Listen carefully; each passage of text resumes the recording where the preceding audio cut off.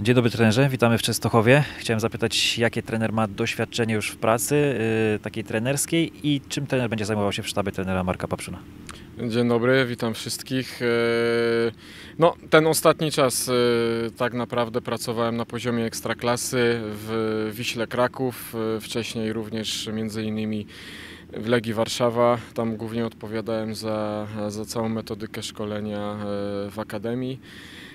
Czym będę się zajmował? Przede wszystkim dołączam do sztabu pierwszego trenera, by, by wzmocnić sztab, a, a stricte będę odpowiadał za, za pracę z bramkarzami Rakowa. Dziękuję trenerze, życzymy powodzenia w pracy w Rakowie. Dziękuję bardzo.